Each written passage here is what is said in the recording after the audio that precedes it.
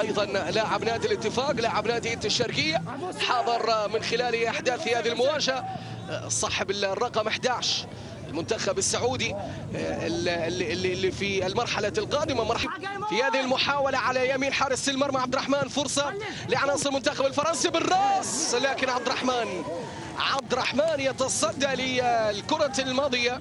عبد الرحمن سالم حاضر. شوف اللعبة اللي كانت موجودة القائم الأول على طول ضربة بالراس من قبل قائد المنتخب الفرنسي ماثياس ساتيل. صاحب الرقم تسعة نعم. Saudi Arabia won half an hour played. Aiki almost got to it. Al Sambi did. Al Jouer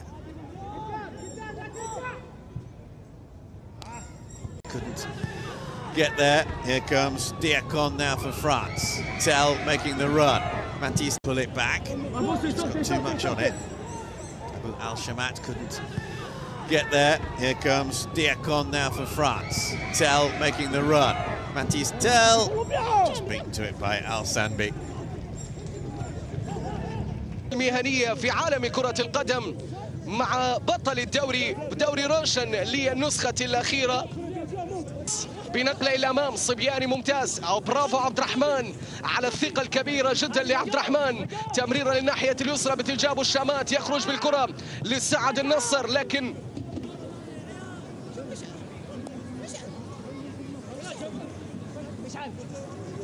حضوره في هذه المسابقة. ومواجهة يستحوذ على الكرة ويهدد مرمى المنتخب السعودي وهذا أمر طبيعي لأن على أرضه وبطولته وخاسر نتيجة المباراة. وعبد الرحمن يخرج ويتصدى للكرة الماضية.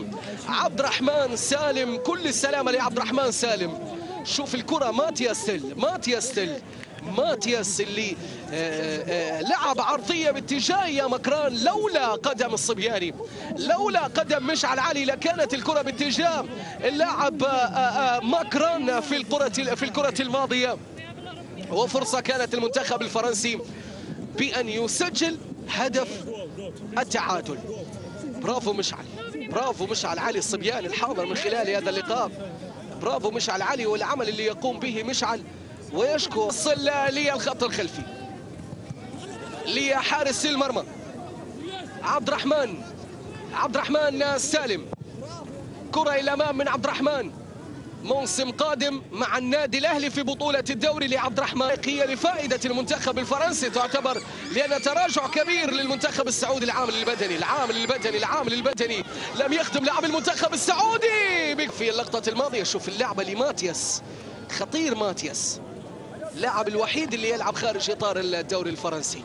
في قائمة المدرب دوميدي منتخب فرنسا لن يت... لم يتمكن بتحقيق نتيجة إيجابية. عبد الرحمن في هذه الكرة في هذه الضربة للمنتخب الفرنسي. يا عبد الرحمن!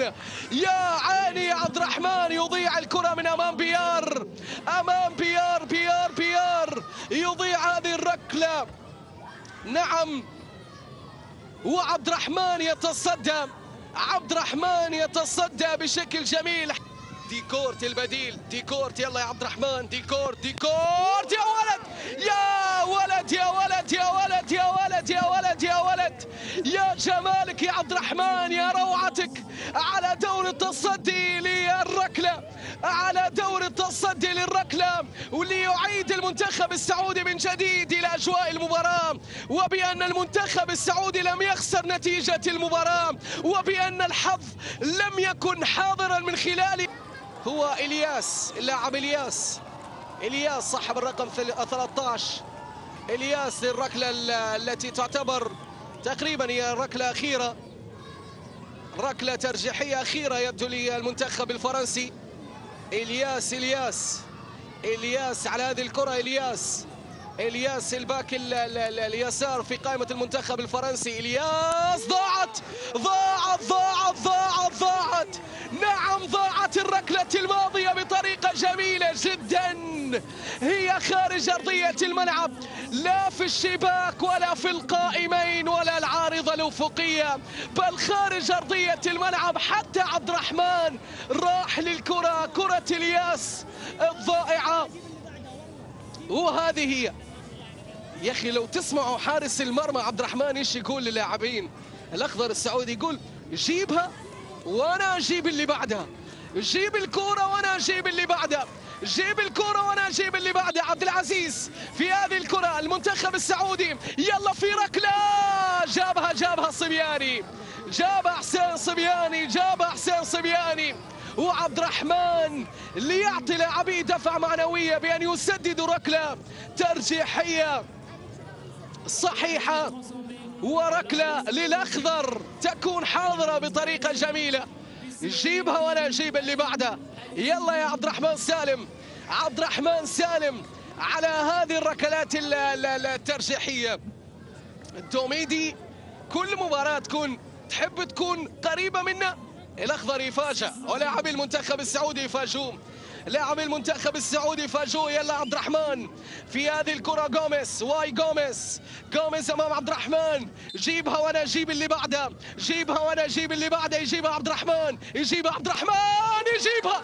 يجيبها. يجيبها. يجيبها. يجيبها. يجيبها.